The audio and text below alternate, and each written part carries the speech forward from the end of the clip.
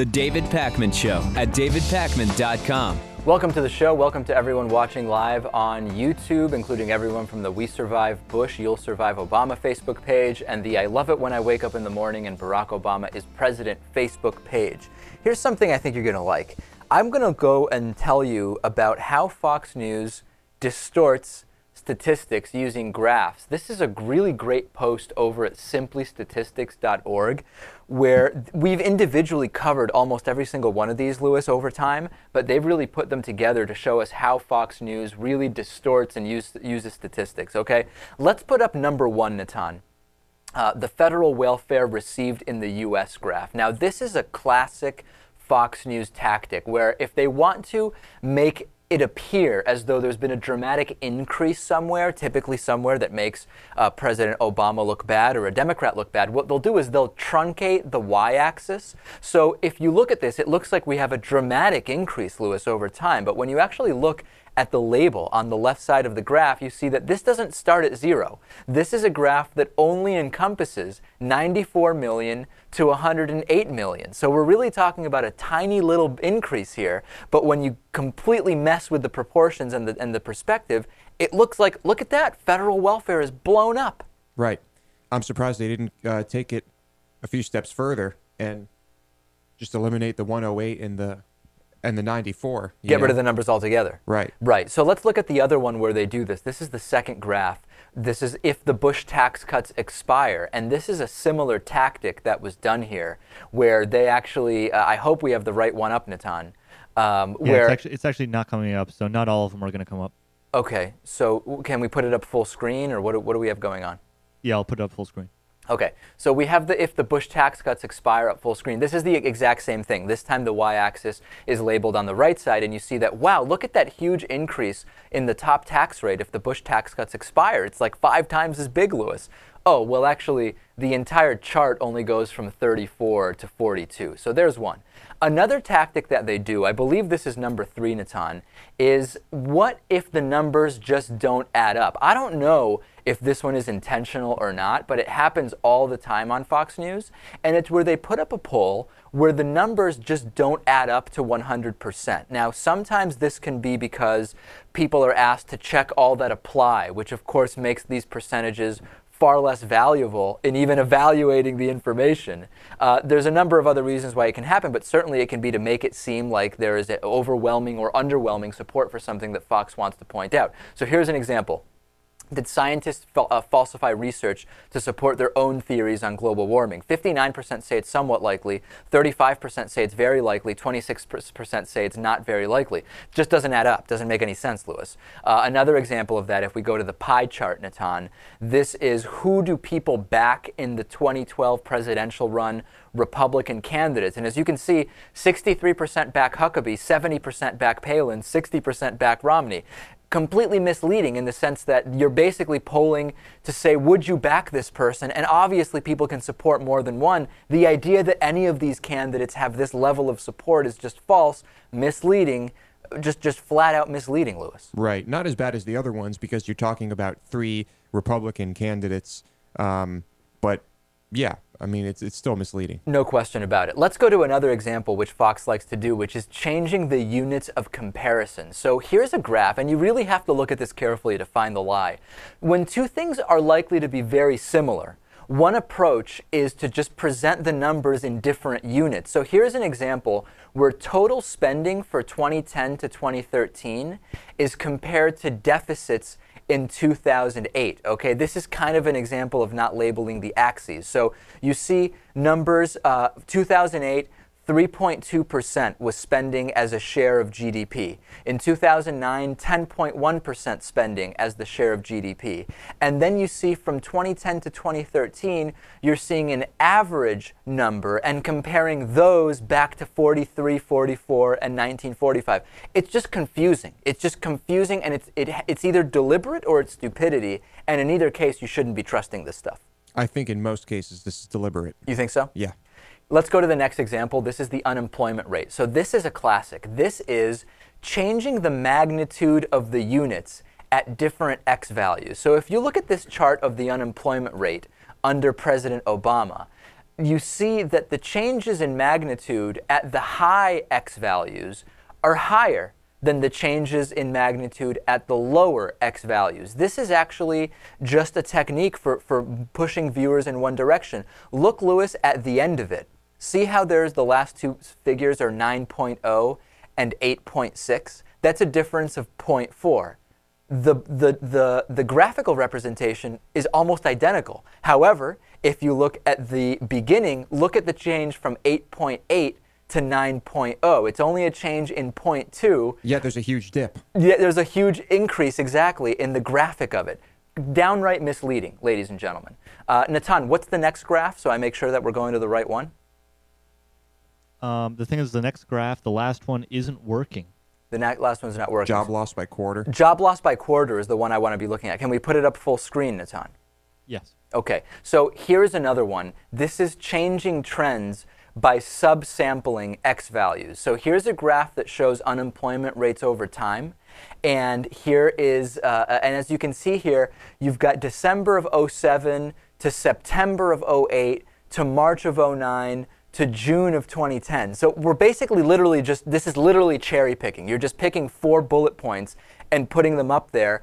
And then notice that at the top it says job loss by quarter.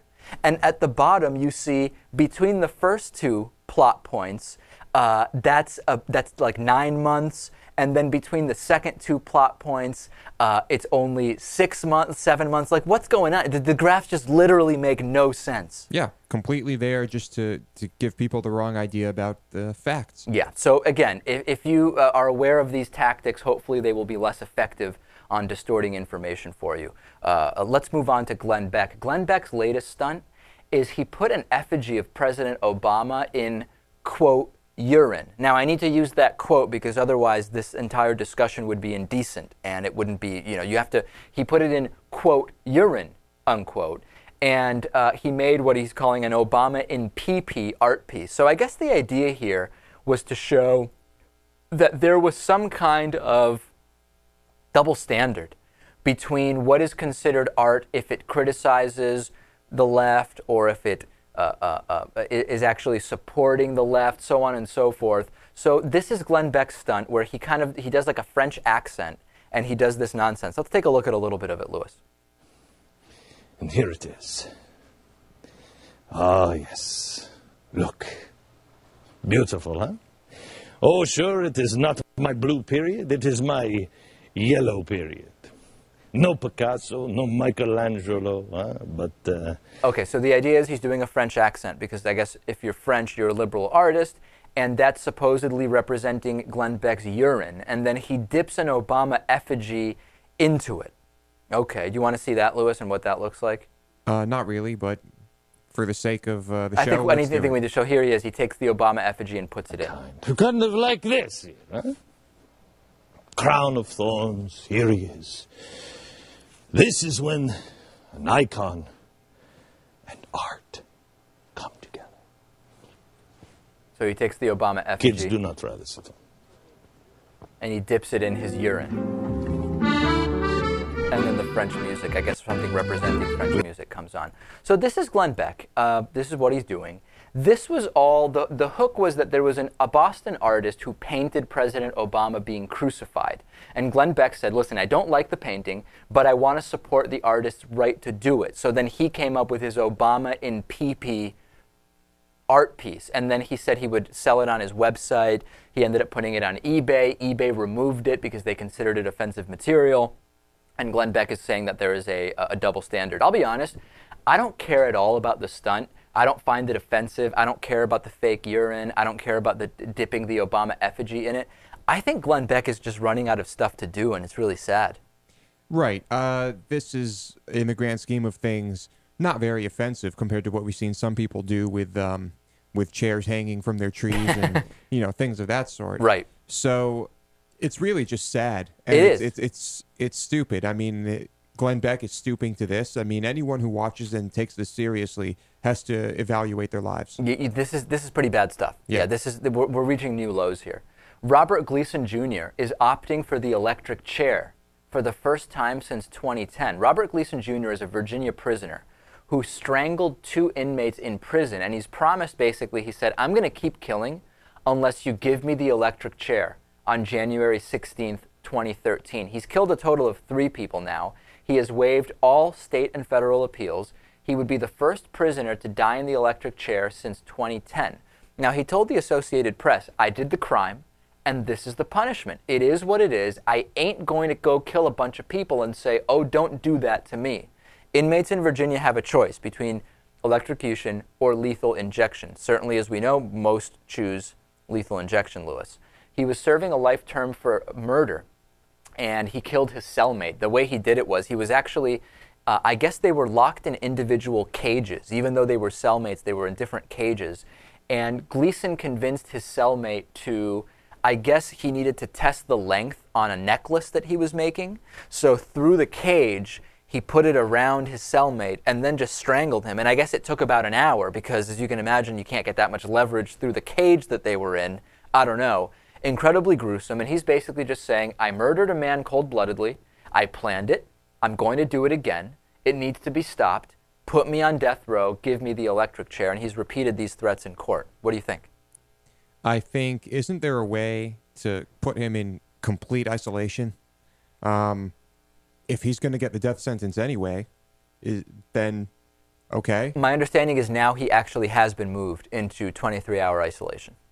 All right. Well, I don't know what to say about it. Is I mean, this it, a case, even though you're against the death penalty?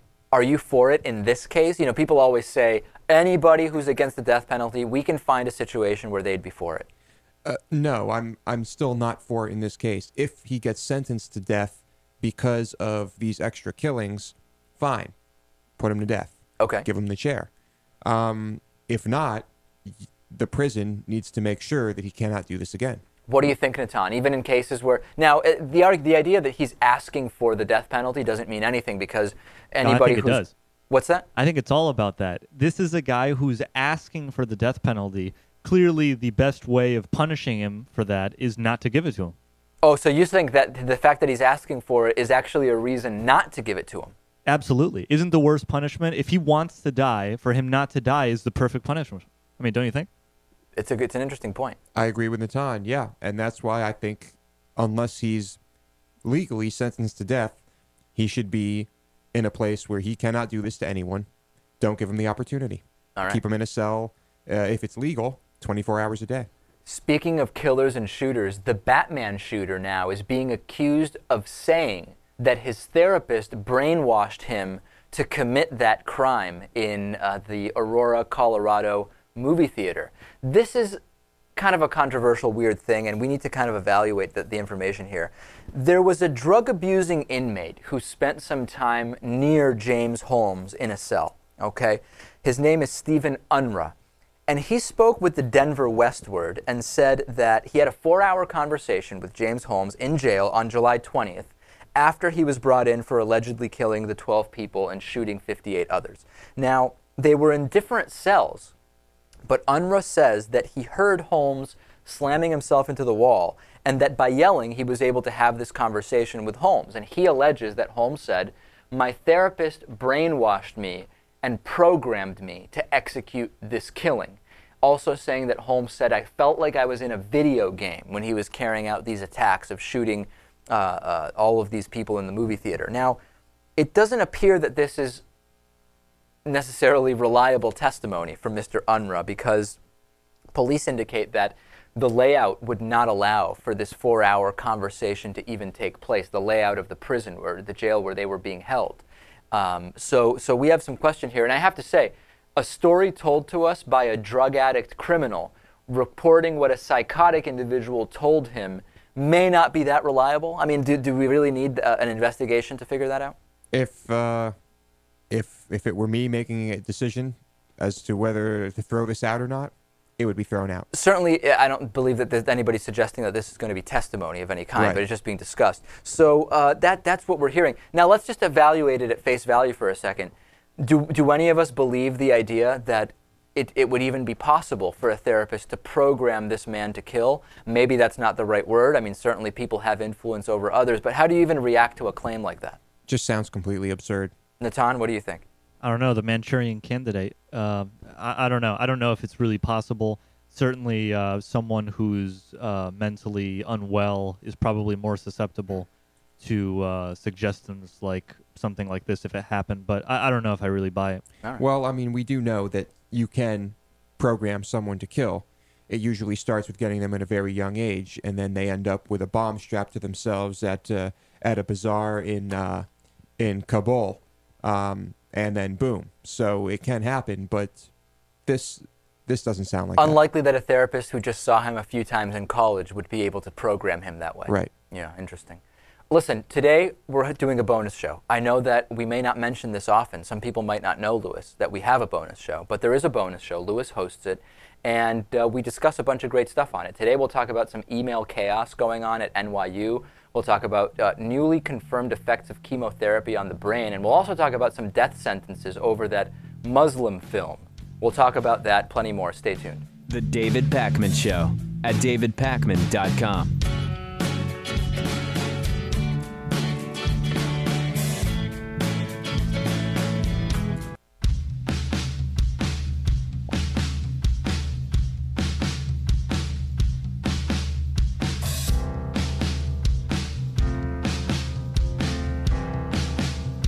Welcome back to the David Pakman Show. As the holiday shopping season gets going, please remember if you do uh, any Amazon.com buying, whether it's uh, in the US, UK, or anywhere in Europe, remember to use the black banner at davidpakman.com. You click it, it's on the right side. No matter what country you're in, it will automatically redirect you back to your country's Amazon website, and 7% of your purchase will go to the David Pakman Show. That's, that's a big time thing, Lewis. big time. We're big time.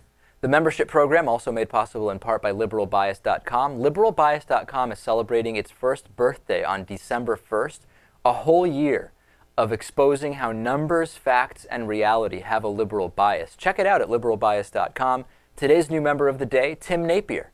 Tim Napier is a new David Pakman Show member, and like all David Pakman Show members, it's absolutely fantastic to have him aboard. Let's talk about country music. Do you like country music, Lewis? It's the only type of music I completely despise. Right. I don't like country music either.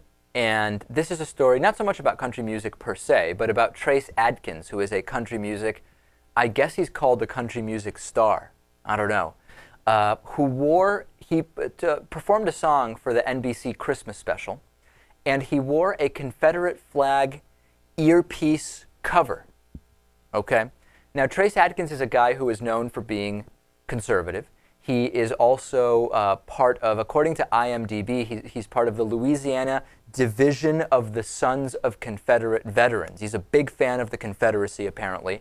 And he has also said that uh, when he joined uh, a movement to help preserve Civil War battlefields, he said um, that they serve as monuments to what can happen when political wisdom fails and our differences are allowed to escalate beyond reason. So this is this is a little bit of the clip here. Now I'm surprised, given his background, that they had him sing "Chestnuts Roasting" or whatever it is instead of "White Christmas." You think "White Christmas" might be a more appropriate song for Trace Adkins. Needless to say, oh, he also appears to be wearing fur. So he's really trying to cover the entire gamut of who he can offend by uh, with this performance. Take a listen.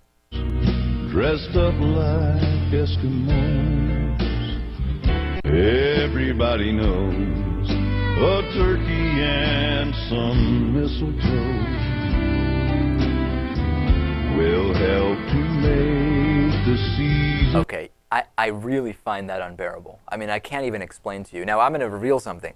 I actually have been to a concert where Trace Adkins performed. Once I was dragged to a concert near a country music concert near Chicago, and Trace Adkins performed, and they brought out, like during his performance, they brought out, I, I'm not going to say he did it, but right before he went on stage, they brought out cannons, like old cannons from, I know it's ridiculous, from I don't know what war.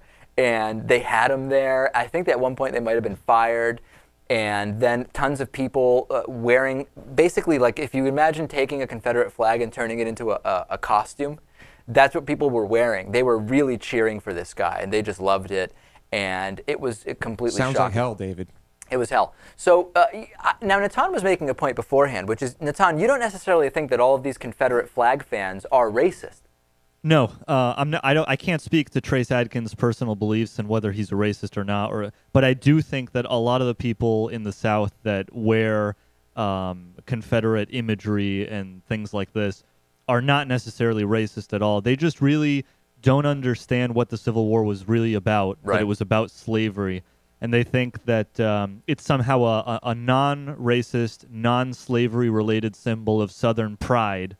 Um, and I really think a lot of them actually believe that. Now, that doesn't mean that I condone uh, ignorance on that front, but I don't think that necessarily all these guys are, are racists or think that the Confederacy should have kept slavery up until the present day. Lewis, imagine if they had been allowed to secede. We would at this point probably have a total third world dystopia, the likes of which you find in science fiction, right next door. Oh, yeah, definitely. I mean, it almost certainly would have led to either a uh, a civil war eventually, or um, them having to join the northern states just because of uh, financially, economically. Right. It, it would. They'd have no choice. Porn star Nina Hartley punked anti gay, anti choice, anti everything Pastor John Hagee and said, I considered flashing my boobs, to be honest. This is really funny.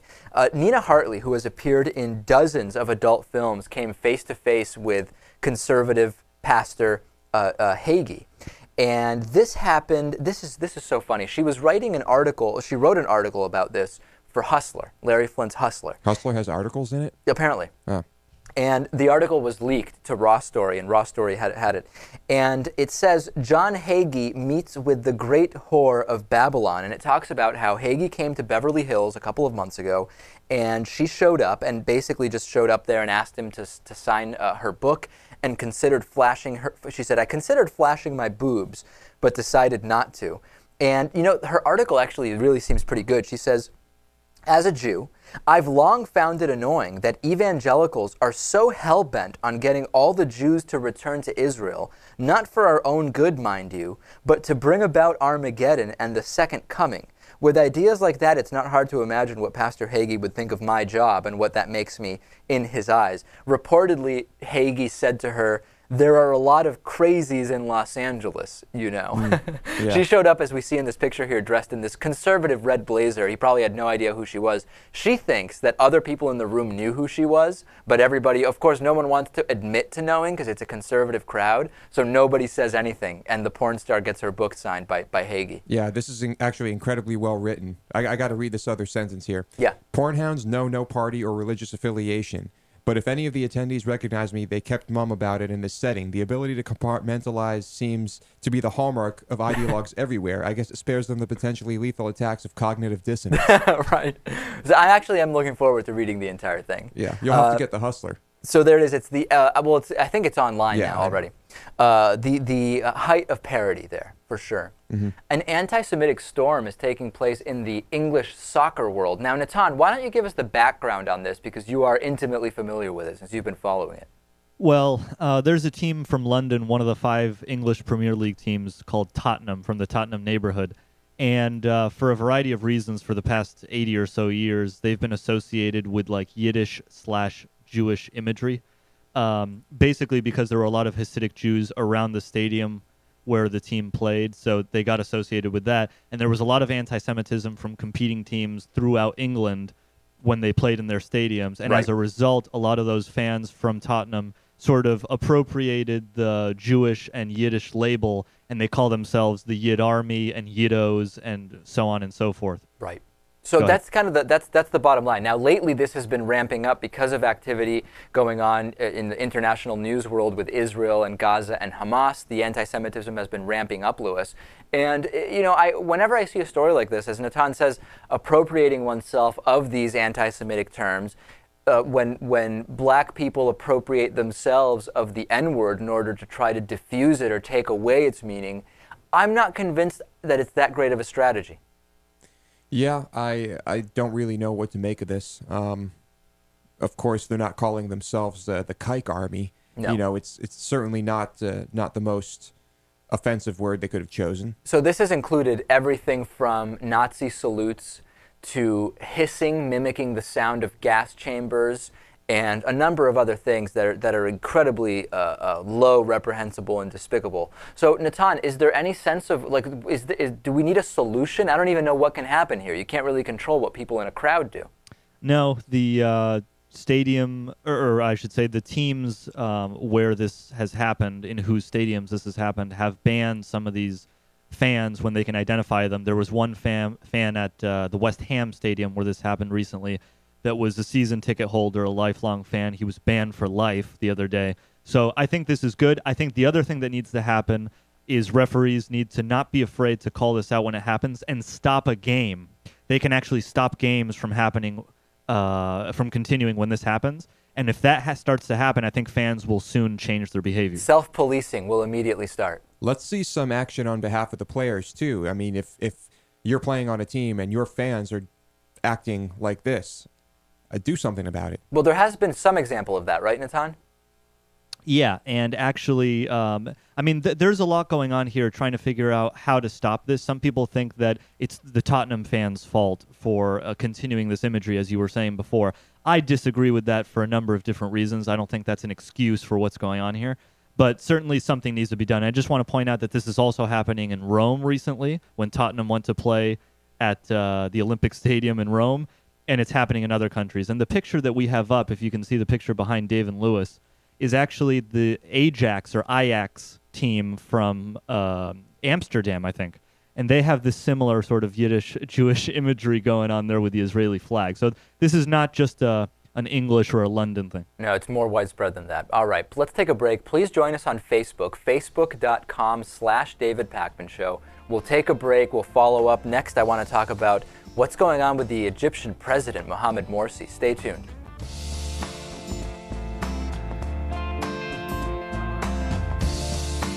The David Pakman Show at davidpakman.com.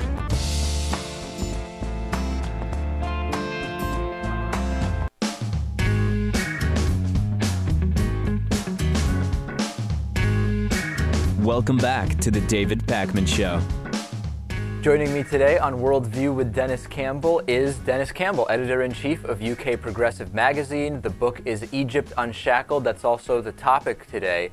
Dennis, let's start with Egyptian President Mohamed Morsi's uh, extrajudicial declaration that he made, which made some headlines, and then we'll delve deeper into what's happening in Egypt. Uh, what, what was that declaration exactly?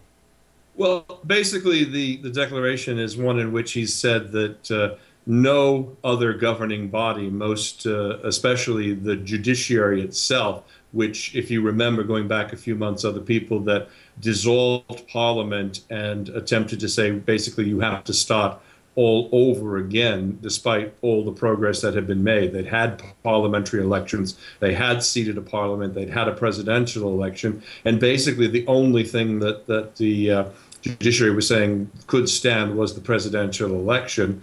And, and, he basically is saying, I want to make certain that nothing that I do can be stopped by this judicial body in any form. I'm taking power. And what a lot of people have assumed that to mean is that he's become the next Hosni Mubarak. He has become uh, the, the dictator of the new Egyptian government. And I don't think that's exactly true. Okay, so let's let's go th- down that uh, route. Thomas Friedman had an interesting article earlier in the week where he said the question now is will President Morsi be a diplomat or will he be a dictator? Certainly, he's framing it, particularly in giving himself credit for the ceasefire in Israel between Israel and Hamas, as being a more diplomatic character, although that is not a statement that's without controversy. So, what are going to be the key things to look at in the next I don't know, month, six months, year to determine what direction is this going to go? Well, you're going to be looking at a number of different factors. I mean, the, from what I understand, what's happening right now as we are filming this and will be going on this evening is that they are rushing a draft of the Constitution through the parliamentary body and through this constitutional body to then make certain that it goes out for ratification. However, some of the commentary I've seen says that because the document is a little bit more strident than people had expected, a little bit more authoritarian, that this first pass is likely to fail so that it comes he, he, he gets to come back to the table looking very very diplomatic after it fails at, in election the constitution and then is in a position to come up with a new constitution essentially. So he's in a bit of an interesting spot because Egypt, on the one hand, is the second biggest uh, uh, uh, benefactor of American aid money behind Israel. And at the same time, uh, Morsi has taken, at least when it came a couple of weeks ago between Israel and Hamas, a very anti-Israeli position. So he has to know that there's a, there's a, there's not, maybe it's not a fine line, maybe it's a bit of a blurry line, but there is a line as far as how far he can go before that aid starts to, to become a question mark, doesn't it? Exactly, and you know, I think when I, you know, I've read today that uh, uh, our good friend in Texas, uh, the the man not playing with a completely full deck, Louis Gohmert, came out and, and, and, said, I don't know whether it was on the floor, I think it was on a radio station, that uh, you know President Obama has been uh, teaming up with the Muslim Brotherhood, and and you know it, it's just strange to see the reaction the minute you have the Muslim Brotherhood come up as a as a potential party to these talks what a lot of people don't understand is that the Muslim Brotherhood is probably the, the, the most moderate of all the potential options that were out there. and the fact is, is that Morsi's a pretty smart guy. He's going to allow this process to go through, and he's going to do what he can to keep you know Hamas happy because obviously they are a part of, of Muslim Brotherhood. Uh, on the very extreme sides of it in the in the West Bank and, and Gaza, but he's not going to do anything to upset the apple cart in what's been essentially a 35 year peace in the region.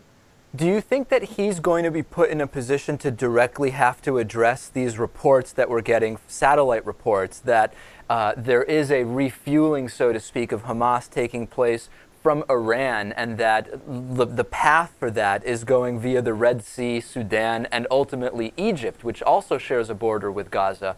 Is that going to become a factor for Morsi's credibility at some point? Is he trying to simply make that just not even come up? What's his position? I don't. I really think he's got enough problems. He's got 80 million people inside the most populous you know Muslim nation in the well actually they're, they're really more secular but there is a very large percentage of Muslim and Islamic uh, people inside of Egypt itself. I think he's got enough just to keep himself in power and moving forward from there. The one party that we've not talked about in all this is the SCAF the Supreme Council of the of the Armed Forces and that is the, the ultimate decider. At the end of the day, if they're unhappy with what happens, they control the guns, they control the army. And if they decide that, you know, this is unacceptable, Morsi's gone. So he's got to keep a lot of balls in the air and a lot of people happy and show that he's, you know, the moderate leader that everybody expects him to be. Yes, the new constitution has a lot of, uh, of uh, what sends the right off into a tizzy. Uh, is founded in Sharia law, but it is not as extreme as what you see in Iran or other parts of the of the uh, Muslim world. So I don't see. Uh, you know, a, a, huge change, but I do think that there are going to be fits and starts. It took the United States 11 years from the uh, Declaration of Independence to actually have a constitution. It's going to take a considerable amount of time before this gets itself settled, and it's only been 20 months. All right, so Dennis Campbell, Worldview with Dennis Campbell, the last day of Movember. You'll see Dennis clean shaven next week. And uh, what will be our topic of discussion for next week, Dennis? You know, we've, we've got some breaking news here in the United Kingdom with the release of the Leveson press report. Um, that is causing huge uh, uh, uh tremors over here. We've got, uh, obviously, the, the committee has come out and, and, and damned, rightfully so, uh, both Rupert and James Murdoch for their oversight of News International. And uh, they're talking about putting in a regulatory body that will oversee the press. Now, this is a state body. Uh, Cameron has said it's dead on arrival in terms of the, the, the, regulatory body, but there's lots of implications here. And there's lots of implications there because if Murdoch is found by Parliament to have not run News International very well, and if we see some phone hacking convictions come out as a result of what has happened, you're going to find yourself with the the headless SEC now uh, having to dive into this because once one of these phone hacking cases results in a conviction, you're going to be in a position where you're going to be putting under the Foreign Corrupt Practices Act the licenses of Fox News and all of the holdings in the United States right. at risk. So it's going to be big. All right, that, that'll be for next week. We've been speaking, of course, with Dennis Campbell. He's editor in chief of UK Progressive Magazine. Check out the book Egypt Unshackled and the latest book, Billionaire Boys Election Freak Show. Dennis, we'll talk to you next week. We'll see you then. The David Pakman Show at davidpakman.com.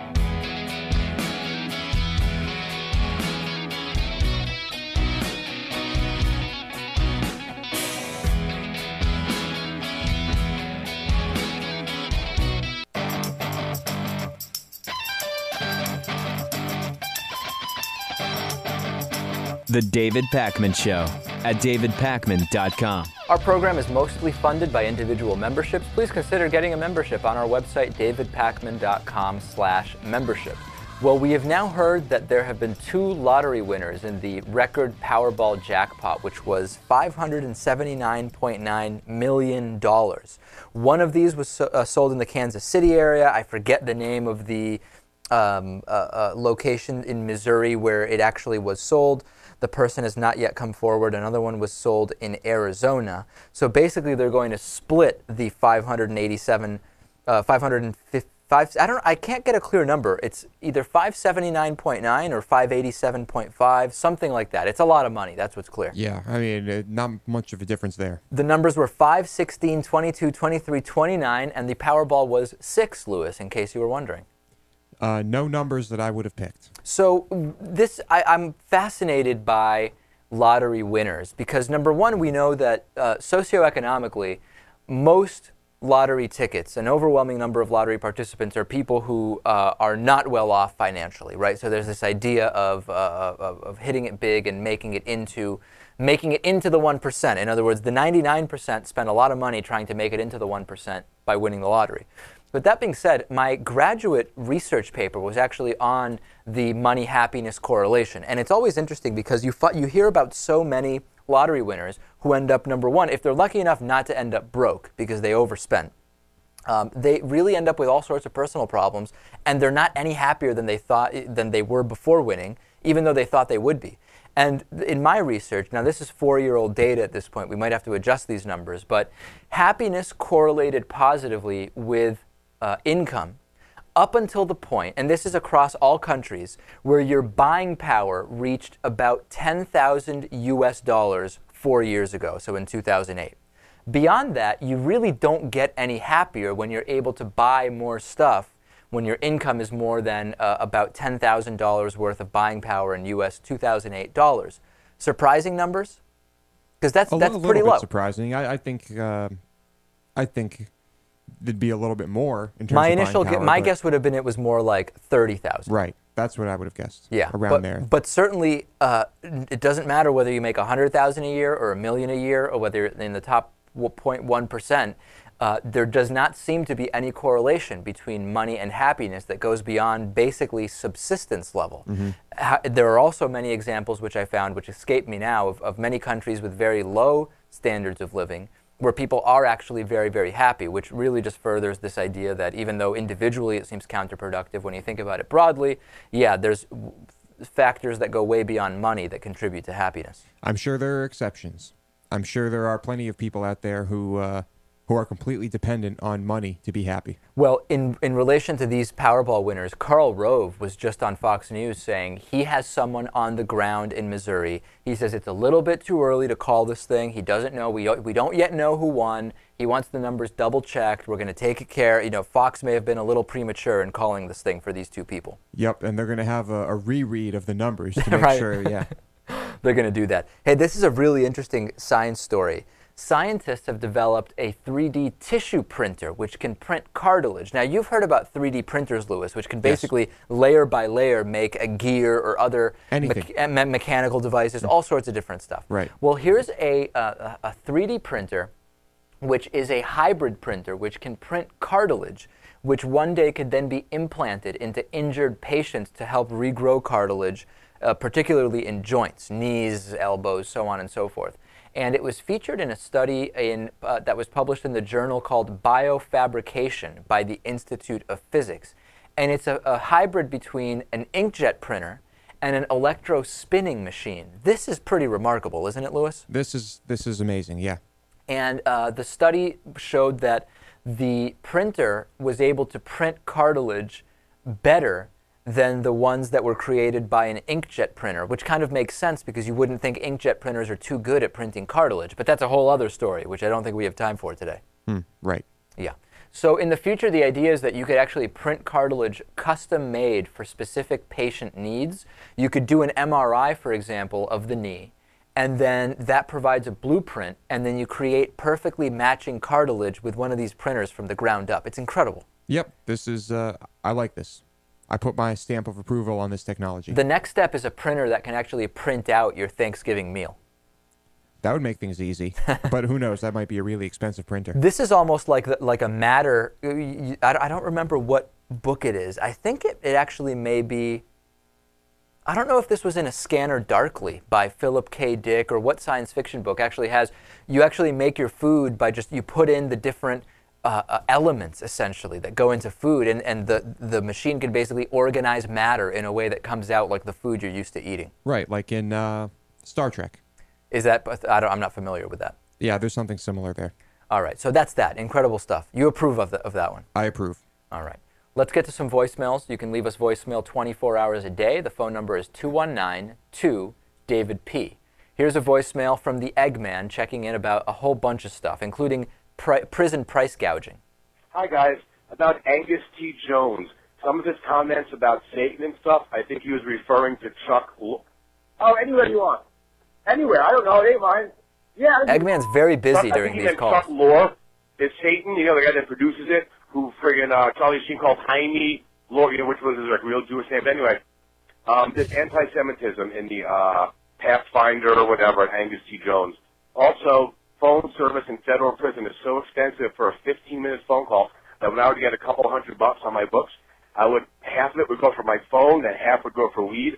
And sometimes I couldn't even get weed because my phone calls cost me so much money. That's Yeah. incredible. When the Eggman was in prison, sometimes the phone calls were so expensive he wasn't even able to use his prison earned income to buy marijuana. That's, that's interesting. Man, All right, let's keep listening. times.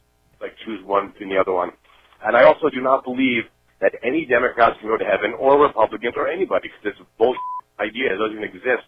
And a 400 pound woman was coming home from Hungary and they went on a plane. Is that a joke that she was 420 pounds and she's in the country of Hungary and no one is making any Hungry jokes? I don't get it. Oh yeah, Jeremy from Japan is a good caller. I was not being facetious at all. I like what he says, content wise and caller wise. That's it, guys. Shalom. Have a good day. All right, so the Eggman getting a bunch of stuff on the record there. Eggman, I really had to bite my lip not to make a joke about the Hungary thing. I had to be politically correct. Uh, I just, who knows? I, I didn't want to insult anybody. and a lot of email pouring in about the next George Zimmerman, this Michael Dunn case in Florida. Well, what can you expect? This man clearly needed to protect himself from the loud music. So, what if he used deadly force? The music was loud, and the kids were black after all. Case closed. Yeah, I mean, that's essentially the discussion we were having yesterday. Right. Uh, another one here. If the music was loud, all he had to do was walk out of earshot. He was only waiting for his girlfriend to buy something. Surely he could have put up with it for a few minutes. It's a classic case of redneck racist intolerance coupled with easy access to firearms. Wow. A dangerous, dangerous combination. And cool. So if he wins the case, I can just walk. Can I just walk outside and start shooting people that play music loud? Would it be precedent? Would it be precedent that loud music is considered intimidatory, and you need to stand your ground on that? Well, I think uh, I think his defense is going to be that he thought the kids were going to get out of the car and attack him, or Right. he thought they had guns themselves and were going to shoot him. It's just like how how far can you really take? I thought they had a gun. How far can you really take that? Not very far, hopefully. Hopefully, not very far at all. Yeah, we have to see how this case goes. We're going to follow it uh, very closely. Yeah. We're going to have a great bonus show today. We're going to talk about the effects of chemotherapy on the brain. There's a fascinating new study out about it, and we're going to discuss it. We'll also talk about Egypt sentencing eight people to death over that innocence of, of Muhammad, innocence of Muslims. What was the name of the movie? Is I think it's Innocence of Islam. Yeah, the, you know Something. the movie, the one that didn't have anything to do with the Benghazi situation.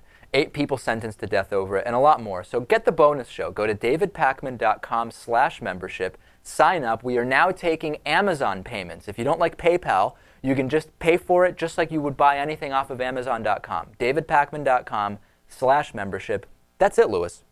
That's all we got. I've got nothing else. We'll talk yeah. to you Monday afternoon.